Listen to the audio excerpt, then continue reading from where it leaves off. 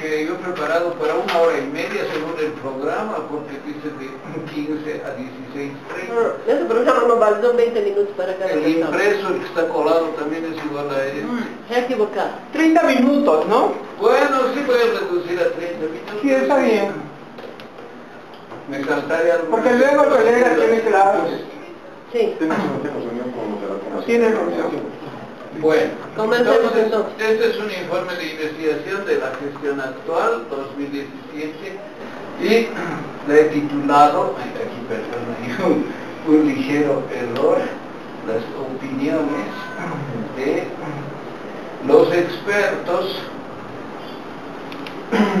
sobre la educación científica. Entonces, lo que voy a hacer es exponer las ideas de eh, 21 personas a las que entrevisté durante los últimos dos años y medio y que sirvieron para que elaborara esta investigación. Eh, aquí tengo algunas citas acerca de la importancia de la educación para el conocimiento científico, es decir, la educación si no privilegia la formación científica, evidentemente está restringiendo las posibilidades de la sociedad respectiva a que esa sociedad genere de una manera sistemática y orgánica la formación de investigadores científicos. Es desde la educación primaria e inclusive desde la formación inicial que se debe orientar a los estudiantes, a los alumnos, primero los estudiantes, después a que tengan amor a la investigación, al conocimiento, a que tienen curiosidad y son ellos los que eh, van a ser los científicos, los intelectuales del futuro que van a producir conocimiento científico y tecnológico ya en la edad madura. Entonces, acá por ejemplo esta cita de Pasteur es bastante eh, elocuente, ¿no? La ciencia no sabe de ningún país porque el conocimiento pertenece a la humanidad y es la antorcha que ilumina al mundo. Pero también la ciencia es la personificación de la nación, porque la nación seguirá siendo la primera que lleve más lejos las obras del pensamiento y la inteligencia. Es decir, no hay chauvinismo en la ciencia, pero también el crecimiento de las naciones, es decir, de los países, se da en gran medida por el desarrollo de la ciencia y la tecnología. Aquí hay algunos ejemplos de lo que es la ciencia y la tecnología desde la modernidad, que es el momento de la historia de la humanidad en, la que, en el que eh, la ciencia adquiere relevancia y connotación decisiva para el desarrollo social, no solamente económico, sino desarrollo cultural. Y evidentemente el conocimiento científico incluye una gran cantidad de eh, aportes, por ejemplo, leyes, descubrimientos, teorías, pero también inventos, innovaciones, adaptaciones, productos.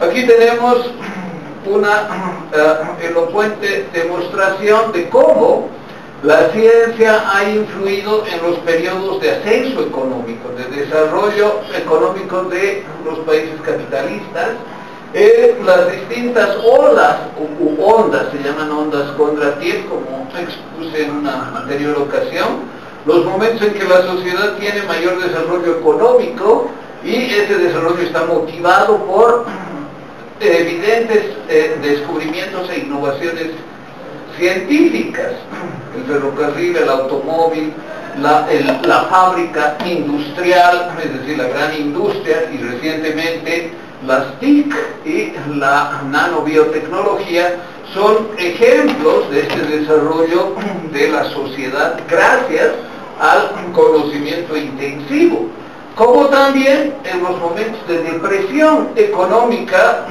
en los momentos de mayor recesión de la sociedad, acá tienen las fechas, por ejemplo de 1929, hay un cartel que dice se venden cuatro niños, ¿no? A esa situación había llegado la crisis del 29. Y bueno, la curva que muestra la caída de la burbuja inmobiliaria. Entonces, en esos momentos también la ciencia está como paralizada, sin embargo, puede coadyuvar a remontar la crisis y a cambiar en el punto de inflexión el valle del declive económico. Entonces la ciencia tiene tanto una función de impulso del desarrollo económico como eh, ralentiza y puede llegar incluso a invertir la tendencia recesiva y depresiva en momentos de, eh, de crisis económica. También esto muestra la importancia de ubicarse hoy día en qué momento estamos. Ya hemos superado la quinta ola y estamos en la sexta ola. Y estos son los avances científicos de la sexta ola. Creer, por ejemplo, que la fábrica es el modelo de desarrollo del futuro es totalmente obsoleto, trasnochado y responde a una visión penosa, porque efectivamente no es así. La fábrica ya ha tenido su momento histórico y el desarrollo económico de la sociedad y los países ya no es como la fábrica, es esta en gran implementación del capitalismo que ha tenido un momento. La sexta ola es el tiempo, por ejemplo, de los implantes electrónicos, el desarrollo de la salud, pero sin las grandes fábricas. Y eso hay que entender. Los gobiernos que no entienden eso, claro, cometen errores y creen que el desarrollo está en, construir grandes plantas, por ejemplo una planta atómica también. Eso no es así. Acá se ve eh, el, desarrollo de la ciencia motivado en gran medida por la milicia, es en gran parte los resultados que tenemos ahora, por ejemplo, las computadoras, etcétera, resultados de la milicia, hay otros descubrimientos por azar, pero en general estas son las profesiones del futuro, este es el futuro para el desarrollo de la ciencia y por lo tanto el desarrollo económico. Acá tengo un cuadro de los premios Nobel, es penoso Latinoamérica, como pueden ver, tiene el 9% de la población y el 2% de los premios Nobel. En cambio, Estados Unidos y Canadá, con el 6% de la población mundial, tiene el 21% de los premios Nobel. O sea, no es la concentración de gran población, sino es la calidad de la formación de esa población. Y es formación dada por la educación y en gran medida por la educación científica. Entonces la educación científica es la que determina que los países tengan aportes y tengan descubrimientos, innovaciones, etcétera, con el consecuente desarrollo económico. Acá tengo una diapositiva que muestra el desarrollo de la ciencia en Latinoamérica y el Caribe está periodizado en diferentes momentos, que yo le puesto algún nombre, esto de ciencia exótica, ciencia mimética, ciencia álgida, es una caracterización, una tipología que hice con base en el estudio de diferentes países, particularmente seis países donde la historia de la ciencia se muestra claramente con ciertos rasgos, ¿no? Desde el siglo XVI hasta ah, el siglo XIX, hasta el 1800, es... El periodo colonial en que la ciencia aparece de una manera exótica, con grandes inventarios zoológicos, geológicos, es la, época, por ejemplo, de eh, los franceses en el Ecuador, que tuvo tanta importancia, y las grandes... Eh, campañas de los eh, sistematizadores, de quienes viajaban por todo el continente haciendo registros zoológicos, registros naturales y de todo tipo, astronómicos, geológicos, geográficos, etc. Pero que, aparte de enriquecer la información, no representaron mayor aporte científico universal con mucho dogmatismo, con especulación, el dogmatismo teológico, etc., y con especulación metafísica. Después está el siglo XIX. Científicos, aunque son solo Brasil y Argentina los que destacan. Argentina es muy destacada ¿no? por la fundación, por ejemplo, de sus museos, observatorios, institutos, fue el primer país que eliminó el analfabetismo a nivel mundial. ¿Qué fue, país, perdón? Argentina.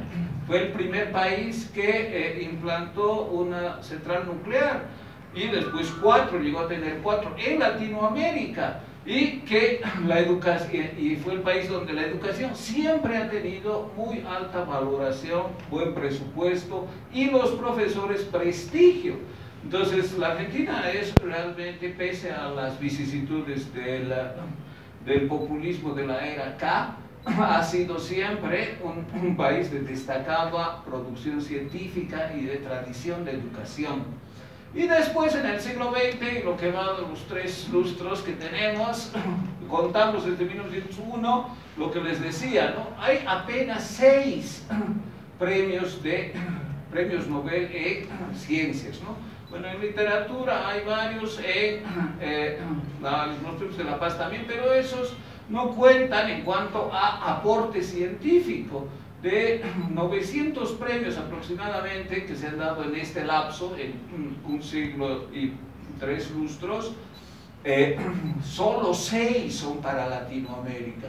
Y los países son un venezolano, un, dos argentinos, eh, y eh, también hay un brasilero, pero lo curioso es que tampoco son plenamente latinoamericanos, sino de ascendencia europea, y bueno, es una pena, pero el aporte científico de Latinoamérica es insignificante. Tomando en cuenta otros datos, ahí se ve, por ejemplo, apenas el continente, es decir, Latinoamérica y el Caribe, aporta el 1,6% del conocimiento científico mundial, y está registrado, y apenas el 0,2% de las patentes a nivel mundial.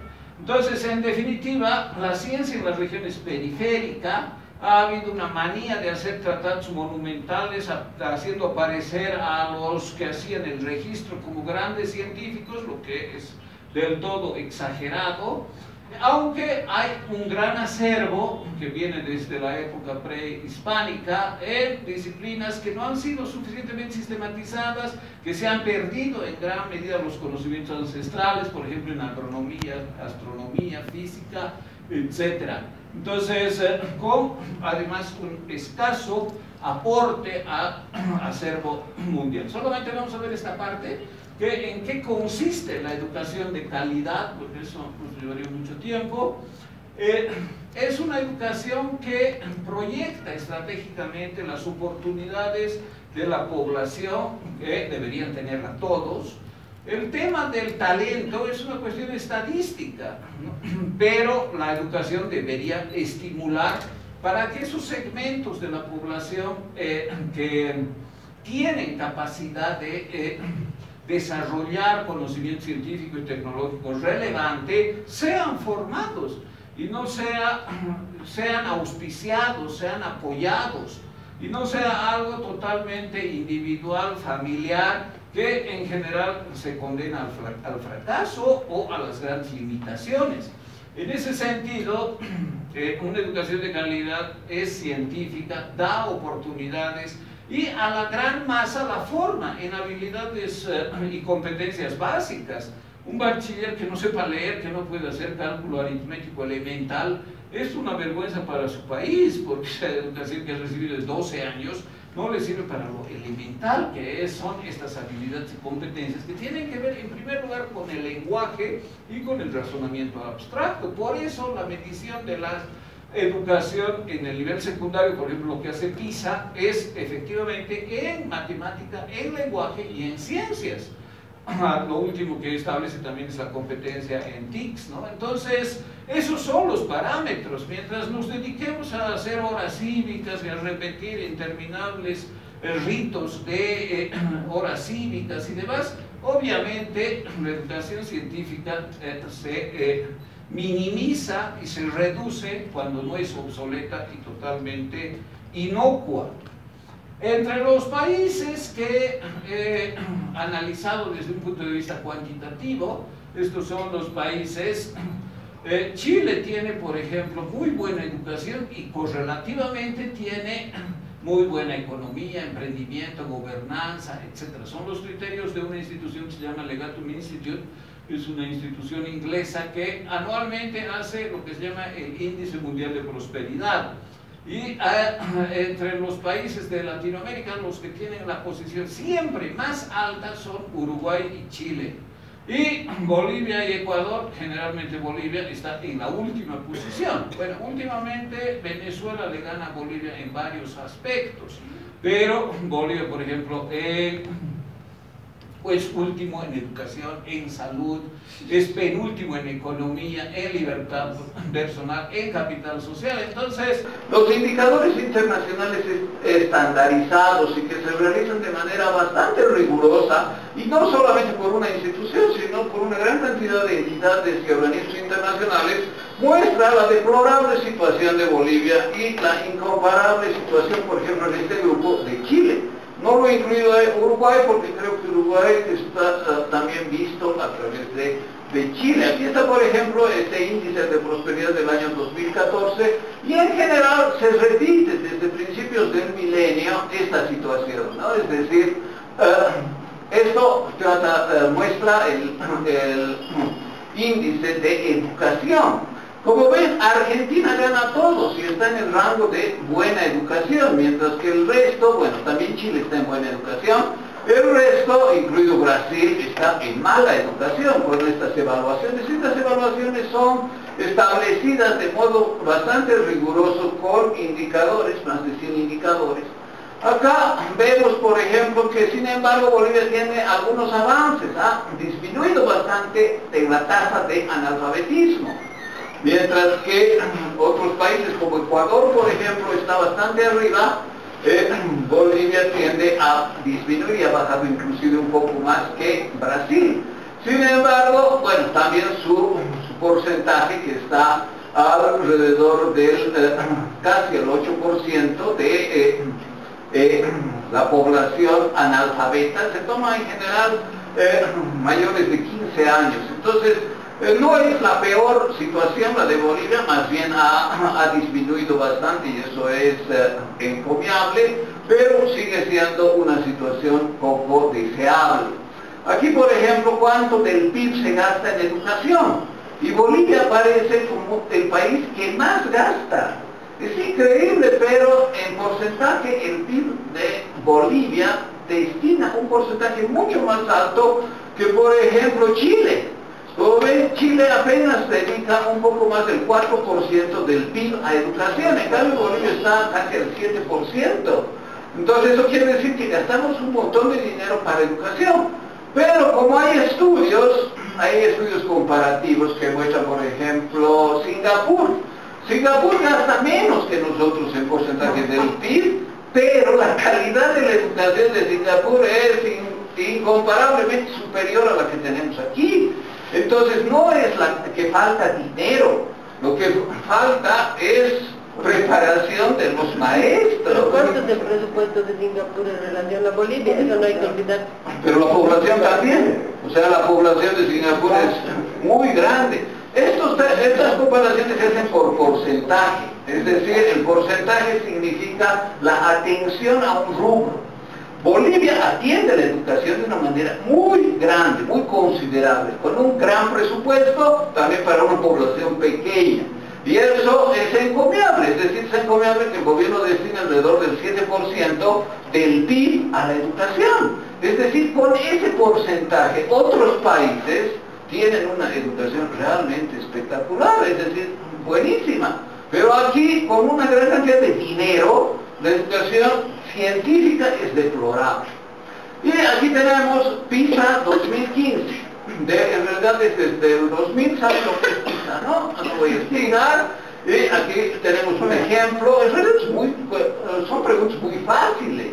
Este es un ejemplo de las preguntas que hacen a los niños o a los jóvenes de 15 años, ¿no? Alrededor de 1.500 por país y eh, deben ser de una forma muy rigurosa. Argentina con eh, Cristina hizo trampa y la han descalificado, ¿no? La última vez, porque solo mandó a las escuelas privadas, o sea, para elevar el resultado. Obviamente si se envía solo a las privadas, el resultado de ser mayor fue descalificada y no se tomó en cuenta. Bueno, eso de Cristina ya es habitual. También mintió en las estadísticas y el FMI la sancionó hizo una sanción pública muy vergonzosa. Están acostumbrados estos gobiernos a hacer eso, ¿no? A mentir y cambiar los datos. Aquí vemos, por ejemplo, en matemática, eh, ¿quién está por encima de todos? Argentina, pero el caso de Argentina no hay que tomar en cuenta porque es solo la ciudad de Buenos Aires y unos colegios solo particulares.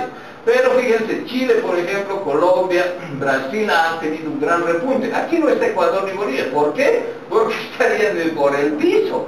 Bolivia y Ecuador no hacen esto porque saben que estas pruebas estandarizadas van a dar resultados catastróficos. Y Perú, que se ha incluido a PISA hace seis años, el último, el último siempre, ¿no? desde el año 2012-2015, el último en todo Perú. El, último año, es decir, el, 2015 ha aumentado, ha mejorado un poco, pero bueno, no creo que nosotros seamos mucho mejor que, eh, que Perú. Y de todas formas, estos son los resultados en ciencias, eh, estos son eh, en lenguaje, comprensión lectora. fíjense cómo sube Argentina. Es por la maniobra, ¿no? De solamente poner algunos, algunos colegios que sean particulares y después fue descalificado. Esto, por ejemplo, la pobreza afecta a la educación, claro que sí, y Bolivia ha tenido buen resultado de lucha contra la pobreza, pero sigue siendo el país entre los seis y en general en la región con la mayor cantidad de pobres, en extrema pobreza, es decir, en la miseria, ¿no? Eso es menos de un dólar al día. Y eso pone a Bolivia en el, lugar más alto, es decir, tiene la mayor cantidad de miserables la miseria, es decir, el nivel más bajo en cuanto al ingreso y la subsistencia diaria. El que tiene más alto, es decir, mejor situación, eh, menor cantidad de pobres en la miseria es Chile, eh, que está eh, alrededor del 4%, 4%, mientras que Bolivia tiene alrededor del 16%, un poquito más, 17%, pero ha tenido un descenso, lo que significa que está muy bien. Esto, la cantidad de investigadores, fíjense, por cada mil personas de la PEA, es decir, la población económicamente activa. ¿Cuántos investigadores hay? ¿Quién tiene más? Argentina, fíjense. Llega casi a cinco investigadores por cada mil personas de la población económicamente activa. Así se hacen las comparaciones, son siempre relacionadas. Sí, pero en eso Cristina no ha mentido. Sí, no, claro, porque Argentina tiene una gran tradición, tiene una tradición de educación, pese a la era K, que ha perseguido a docentes. Perón, por ejemplo, a un premio Nobel lo ha destituido de su cátedra. Eso ha hecho cuando vino Perón. Es decir, esos son los, detalles de la historia del sí, pero tiene una gran tradición. de la acción del peronismo contra los intelectuales. el CONICET Claro. Era el más grande, el más grande primero en Eso ha nacido antes del peronismo. La tradición de Argentina es de principios del siglo XX. Y eso es antes del peronismo, que es a mediados de siglo. Entonces, pese al peronismo, Argentina ha tenido gran tradición de investigación. Sí. No, al final. Ya. Bueno, entonces Argentina tiene una gran cantidad de investigadores y eh, inclusive bastante más de la, de la media. ¿Quién tiene menos? Bolivia. Siempre Bolivia y Ecuador en lo mínimo, ¿no? Nosotros no llegamos ni a uno. O sea, tenemos un investigador cada, cada 2.000 personas de la PEA, mientras que la Argentina tiene casi 5 por cada 1.000 personas de la PEA. Acá, ¿cuál es el porcentaje, por ejemplo, de titulados? Fíjense, la desproporción es algo increíble. Bolivia ya ni se ve. Porque claro, es tan pequeño el trozo de la torta que ya ni se ve. Y Brasil es tres cuartas partes. Y Argentina es como un quinto. O sea, pequeño pero sigue siendo significativo. Y ahí está el aporte a, la ciencia con profesionales formados de Argentina, Brasil, Bolivia, ¿no? Eh, lo que destaca es Brasil, fíjense, tiene el 35% del aporte de titulados en toda la región, en Latinoamérica y el Caribe, y tiene el 30% de Iberoamérica, es decir, incluido Portugal y España, mientras que Bolivia, fíjense, tiene el 0,18, el 0,2, o sea, insignificante. Mientras hay 10 millones de titulados en este periodo que va desde el 90 al 14, son 25 años. Se hace estadísticas lo mejor es hacer largas, ¿no? No de un año, no de un reciente, sino por lo menos los anteriores 30 años, 25 años, 20 años. Esa es la forma correcta de hacer estadística, porque la distorsión del último año puede ser muy grande. Hay, hay, que ver la tendencia, no hay que ver el último dato. Y la tendencia de Brasil es así, es una tendencia exponencial, por ejemplo, en cuanto a la producción de... Eh, de artículos científicos. Fíjense la cantidad de doctores que hay en Brasil. Brasil es impresionante por el desarrollo de la ciencia y la tecnología, los centros de excelencia, la atracción de investigadores, investigadores no solamente de América Latina, sino de Europa, ven con expectativa vivir en Brasil, trabajar en Brasil y desarrollar conocimiento científico. Fíjense la cantidad de, de doctores, 104, casi 150 mil de Bolivia no aparece, es el 0,01, ya desaparece por ser tan pequeño, ¿no? Ahí dice 28 doctores. Eso es lo que se tiene desde el 90 hasta el 2014, 25 años en Bolivia, mientras que en Brasil 150 mil. Y estas son las disciplinas de los profesionales, toman de las ciencias sociales en general es bastante grande. En Brasil, por ejemplo, o en Argentina. O sea, eso de que las ciencias sociales están venidas, venidas a México es falso. La mayor cantidad de profesionales que se gradúan en han graduado en nuestro país en los últimos 25 años son de ciencias sociales.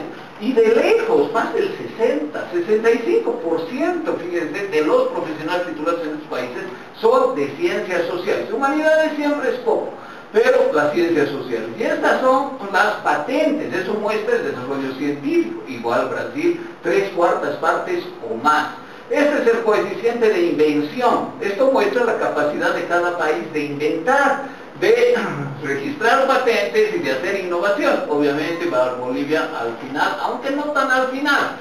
En este caso Ecuador le gana un poco y Colombia también le gana un poco, digamos hacia atrás, ¿no?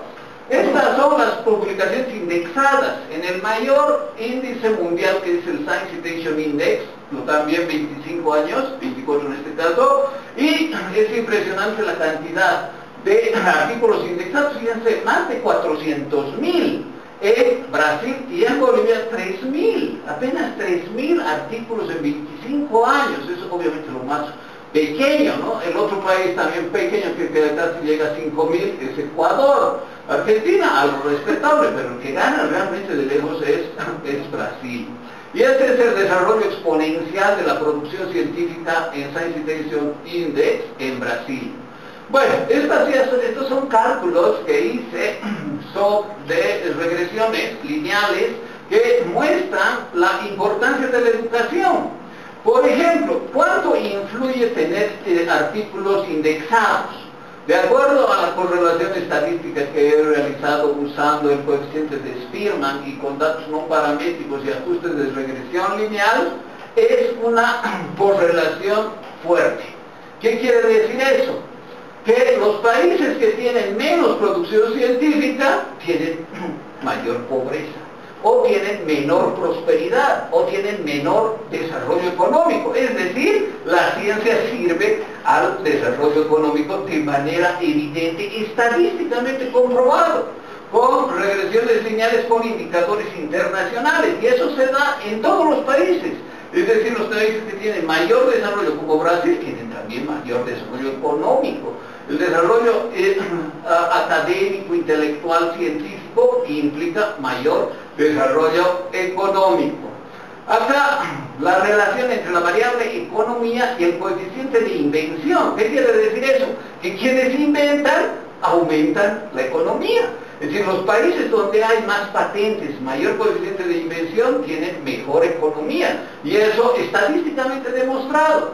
Aquí, los que tienen mejor educación tienen menor corrupción. Fíjense lo importante que es esto.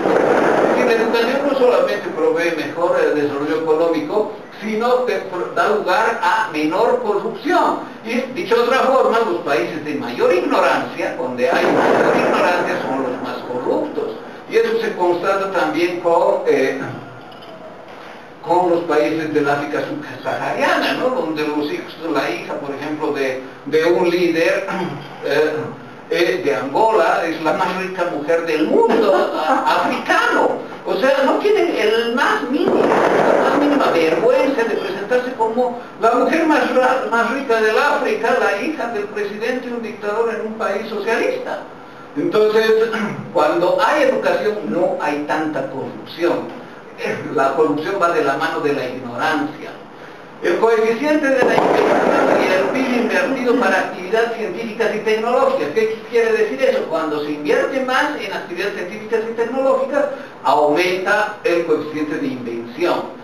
Acá la cantidad de investigadores y el índice de desarrollo humano. Los países con mayor índice de desarrollo humano son los que tienen también mayor cantidad de investigadores. Es decir, nosotros contribuimos a que haya un IDH mejor.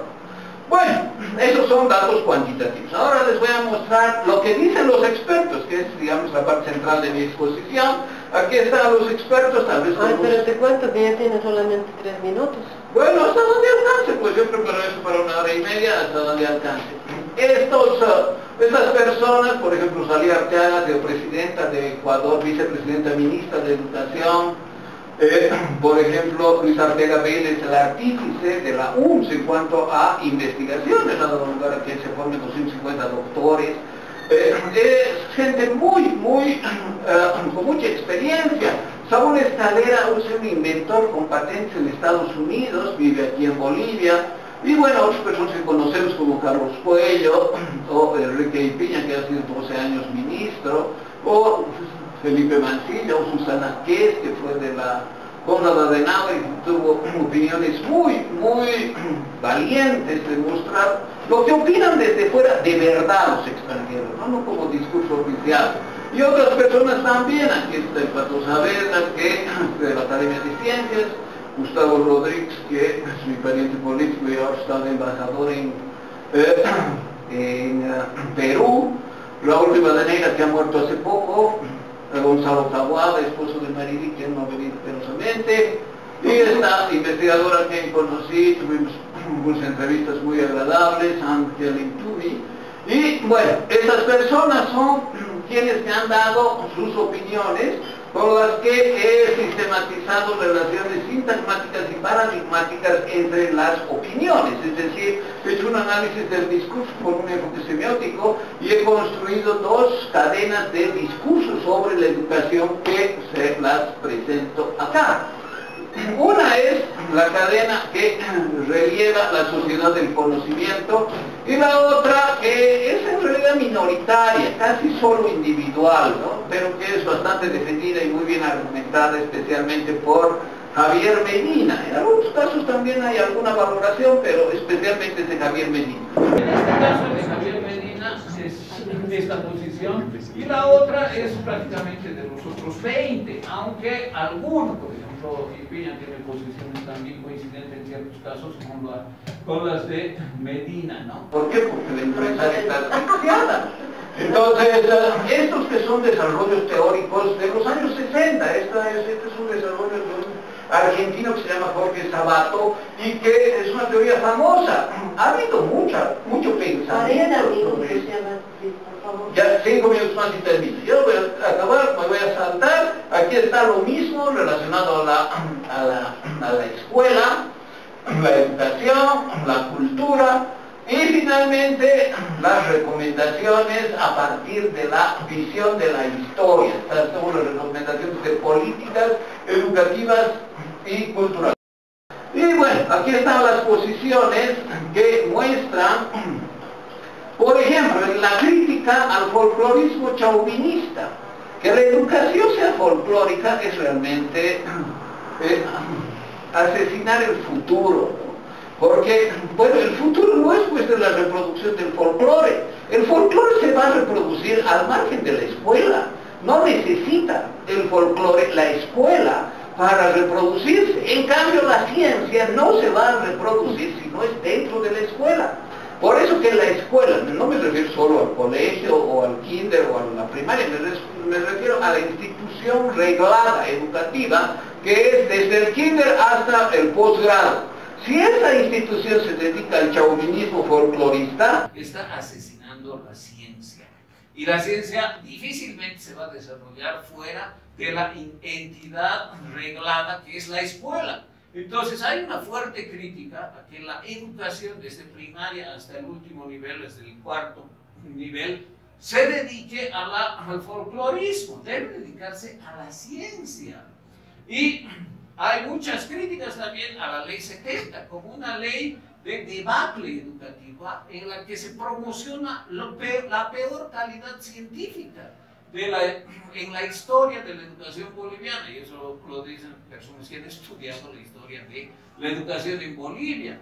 Entonces, estas características de la educación que coartan, que restringen la ciencia, efectivamente están cometiendo un gravísimo daño a largo plazo para el país, porque se le está privando al país de tener científicos, de tener masa crítica, de fomentar la eh, curiosidad, la investigación, el desarrollo inquisitivo y finalmente constituir masas críticas de intelectuales científicos y pensadores. Entonces, aquí, como ven, es una contraposición entre los dos paradigmas, ¿no?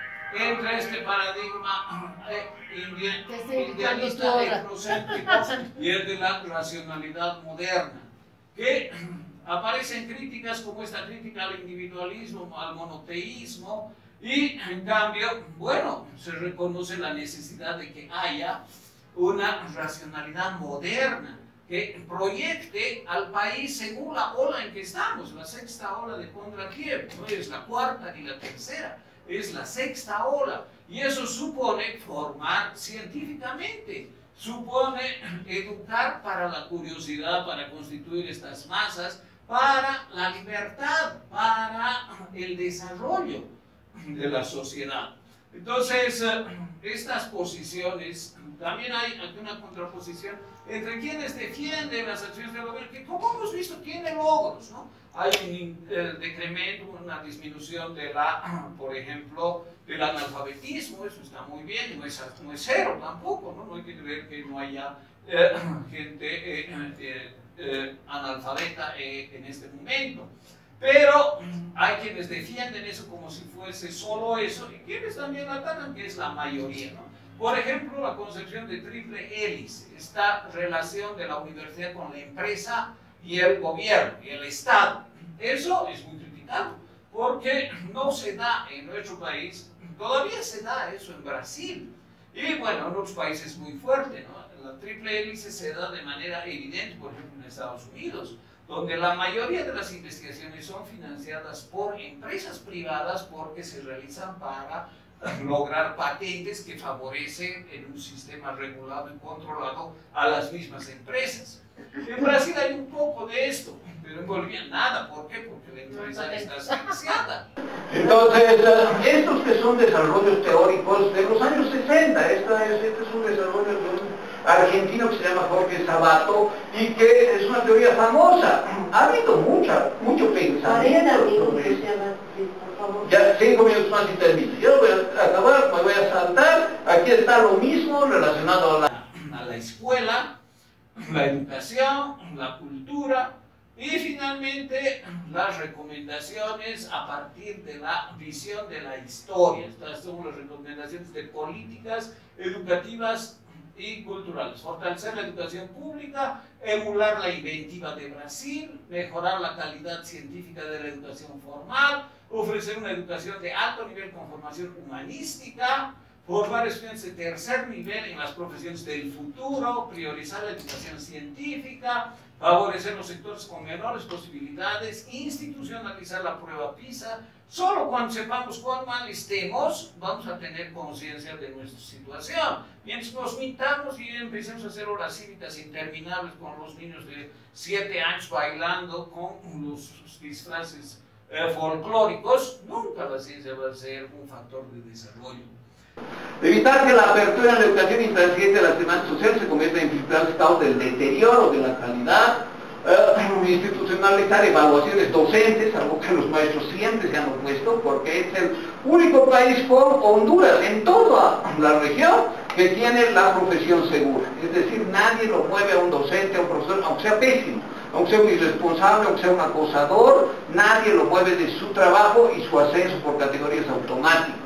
Entonces ese sistema es el que perpetúa la ignorancia, el que perpetúa conocimientos retrógrados y el que se opone, el que impide que haya una formación científica. Otra opinión, por ejemplo, de Coelho, era que es absurdo eh, dedicarse tiempo valioso a aprender hasta en la universidad, por ejemplo, Aymara. O sea, en lugar de aprender inglés, que es el idioma de la ciencia, resulta realmente incomprensible para el desarrollo del país dedicarse en, en, la primaria, en la secundaria, en los institutos técnicos, en la universidad, a algo que ya mucha gente sabe y que mucha gente posiblemente en un futuro no muy remoto abandone. Esa es la tendencia de las lenguas, y la lengua no es la, la única. Las lenguas vernaculares hasta el 2100 van a desaparecer hasta en el 90% por tendencia estadística. Y eso, ¿para qué empeñarnos? Quien quiera hablar, que hable pues, en, la esfera doméstica de su casa, con sus familiares, está bien, pero negarse a aprender el conocimiento científico universal para aplicarlo a la propia realidad, y eso es a través siempre del inglés, del inglés porque el 90% de la producción de, eh, científica mundial está en inglés, es realmente un suicidio, eh, no solamente cultural, sino un suicidio económico hacia el futuro.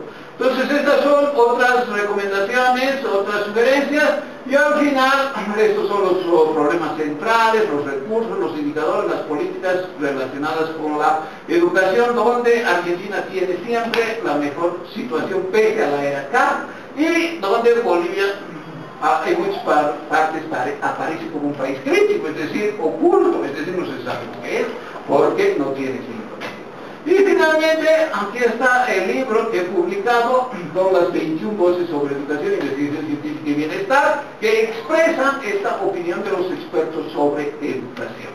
Gracias. Ya, gracias. Un comentario muy breve. Sí, antes de que, por Sí. favor, antes que al comentario, por favor, esto necesito que lo envíes al correo electrónico del instituto porque todo se está archivando en esta computadora. Ya, le voy a dar aquí. Sí, ahora sí. Ya, un comentario muy breve y por favor quisiera copiar el primer cuadro. siempre he trabajado, como tú sabes, en ciencia y tecnología desde muchos años con el colega Oporto. Entonces me interesa mucho. El comentario es que eh, efectivamente los estudios sobre ciencia y tecnología en este caso deben ser aplicados a periodos de largo plazo. Porque asimismo 25 años es un periodo en el que se debe um, formular políticas de ciencia y tecnología. Esto está demostrando, demostrándose en, tres países que han caído en el populismo, Argentina, eh, Brasil y Venezuela. Pero pese a esto, que se ha dado en los últimos 5 o 10 años, eh, el avance anterior ha permitido que se mantengan las condiciones. Incluso en el Brasil, aún Lula aumentó el presupuesto de las universidades de una manera impresionante, eh, dio dinero para congresos, Brasil era el país que más congresos hacía y con invitaciones pagadas a primer nivel, como dijiste, de- venía gente de todas partes. Venezuela igual, un dictador inauguró un campus fenomenal en Caracas, en la Universidad Central de Venezuela, que sigue, que es mejor que universidades de la Argentina, un campus con, con árboles verdes, y bueno, y quedan, y mandó, mandaron a estudiar a los docentes a Francia, tenían, la, tenían esa tendencia a, la- a la escuela, a los estudios, y la Argentina ni hablamos. Entonces, desde el periodo populista se han mantenido esas condiciones y ese es el, el kit del asunto, las políticas de largo plazo en ciencia y tecnología. Muy bien, muchas gracias. Ecuador también ha tenido, pese a Correa, Correa ha impulsado Sí, bastante Más bien, bien. Correa, así como impulsado. No, no es solo él. Antes de él hubo, ¿no? Varios gobiernos que han impulsado, por ejemplo, las becas a Eh. Él, pero él ha sido uno de los que ha promovido, Ha promovido. todas las becas para los ha dado continuidad y ha profundizado esa es, tendencia. así La tendencia es evidente, ¿no? Y Yachay, por ejemplo, está, este centro uh, multicultural en, Ecuador es magnífico. Y también en Argentina hay centros magníficos, ¿no? Que pese a los gobiernos populistas eh, han tenido. Ahora, en Argentina, por ejemplo, yo conversaba con una amiga que es del CONICET y me decía que bueno, si uno no está a favor del régimen en tiempo de Cristina, ya difícilmente se mantiene en el CONICET, ¿no? O sea, esa persecución que hubo siempre del peronismo a los opositores, aunque sean científicos. El peor ejemplo es lo de, lo, de Perón, ¿no? que a un premio Nobel lo ha destituido. Lo ha destituido de ser docente universitario, ha sido una vergüenza en todo el mundo, pero igual se dio. Entonces, hay también ese sesgo y a veces es más por propaganda que por convicción. Pero claro, en todo caso es mejor que haya, aunque sea por, propaganda, a que no haya. Y lo que no hay es Bolivia, ¿no? Y claro, lo que hay, sí. Solamente lo que tal vez una aportación en otro momento, ahora estamos con el tiempo muy poquito, ¿no? Que la cultura, es decir, no debería estar peleada con la ciencia y tecnología. La cultura y la ciencia deberían ir juntas. Por ejemplo, yo te digo, a ver, digamos, por simplemente un caso, que hay mucho conocimiento ancestral, que por ejemplo que lo tienen los pueblos, eh, podría decir, digamos, eh, originarios, digamos, a, amazónicos o de Chaco, que se han convertido en, grandes productos, digamos, medicinales, que la industria de la medicina la ha sistematizado, o sea, la, ha vuelto, digamos, de una forma mucho más científica, y ahora son remedios que lo utiliza el mundo, ¿no? Es el caso, por ejemplo, de la famosa quinina y la aspirina, ¿no? Para poner un ejemplo. Entonces yo pienso que aquí lógicamente lo que usted decía es cierto, ¿no? que hay mucho chauvinismo, así que la humanidad debe seguir bailando, por decir, ¿no? Pero en realidad yo pienso que la cultura debe ir directamente unida con la, no debería estar dividida. Claro, lógicamente nosotros tenemos que ser ahora justamente a esa unión, que la cultura y la ciencia vayan juntas, porque yo pienso que en algún momento siempre estos deben ser los pilares fundamentales, para nuestro país, que tiene tanta riqueza cultural. Entonces, yo pienso que habría que investigar también esta situación Sí, tal vez no me he explicado bien, ¿no? Pero yo estoy de acuerdo con esa posición y en verdad el aporte universal que podemos dar, es decir, al mundo, es el desarrollo de nuestros conocimientos ancestrales, pero desde una perspectiva occidental en las fronteras de la ciencia. Entonces tiene que ser los mejores científicos que vengan a investigar aquí con nuestro conocimiento y produzcamos eso, y en todos los ámbitos. Ahora, hay muchos logros. Cárdenas, por ejemplo, ya ha registrado alrededor de 6.000 plantas en Bolivia. Ah, no hay mucho más que registrar. El conocimiento de los callaguayas ya está hasta escrito. O sea, ah, hay que tener un poco de cuidado también con el mito, ¿no? El mito de que no, tenemos mucho muy desconocido. No es tanto así. Hemos tenido mucho, eh, está conocido gran parte y se puede desarrollar también, sí, pero se puede desarrollar solo con contenido occidental, es decir, con la luz que ofrece la, ciencia occidental. Y eso lamentablemente no es así. Por ejemplo, en la medicina no hay un diálogo de igual a igual.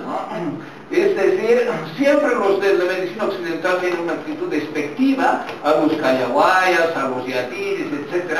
Y bueno, entre los yatiris también se, han peleado bastante, estos bolimetra y demás, por cargos, es decir, por subvenciones. En lugar de ver la proyección, hay esos intereses. Por otra parte, las lenguas hay que estudiarlas, claro, pero tienen que estudiarlas especialistas. O sea, especialistas como Jesús Palomino, por el perfecto, que se estudie el puquina, el aymara, el quechua, eso está muy bien, deberían haber institutos con gente del más alto nivel mundial, pero esos institutos de lingüística que hay, ¿qué hacen? Es una vergüenza, se pelean por viáticos para ir a las provincias, y no hay un solo texto que sea de investigación lingüística de sus lenguas. Entonces resulta todo una mentira. Porque con, el discurso de que se está estudiando lo vernacular, en realidad hay paternalismo, hay eh, eh, patrimonialismo y hay intereses. Entonces, si esto de llevar adelante el estudio de lo nuestro, yo estoy plenamente de acuerdo, pero como se está realizando estos últimos años o la última década, es realmente penoso. Bueno, muchas gracias. No sé si